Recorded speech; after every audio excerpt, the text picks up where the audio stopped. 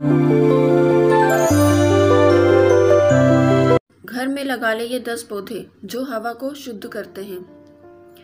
खुद को सेहतमंद रखने के लिए अच्छी डाइट और खुद की साफ़ सफ़ाई रखना बहुत ज़रूरी है, लेकिन इसके लिए आपके आसपास का वातावरण भी साफ़ सुथरा होना चाहिए। घर बड़ा हो या छोटा, नया हो या पुराना, वहाँ पर ऐसे अस्वस्थ, विषाक्त पदार्थ पाए जाते हैं जो हवा को दूषित करते हैं। इसी हवा में हम सांस लेते हैं तो ज़ाहिर सी बात है कि ये कहीं ना कहीं हमारे शरीर पर बुरा असर डालती है।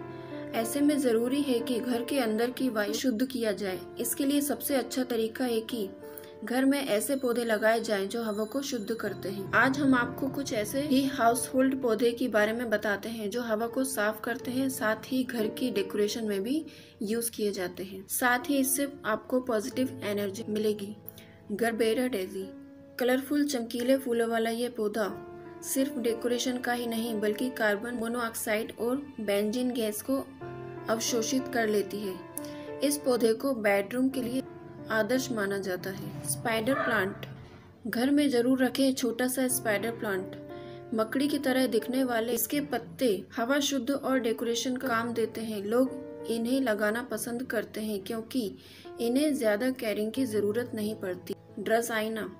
लंबे पत्तों वाला ये पौधा सफ़ेद, क्रीम और लाल धारियों में होता है। फिक्स।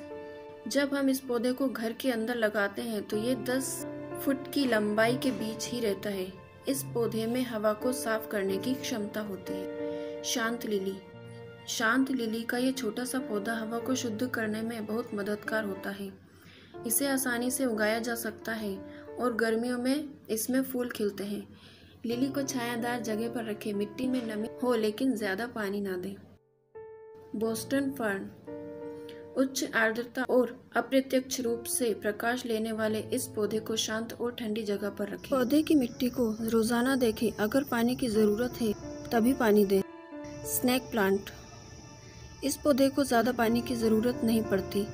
इसे ड्राई प्लेस में रखें, जहाँ ज़्यादा सूरज का प्रकाश न मिले।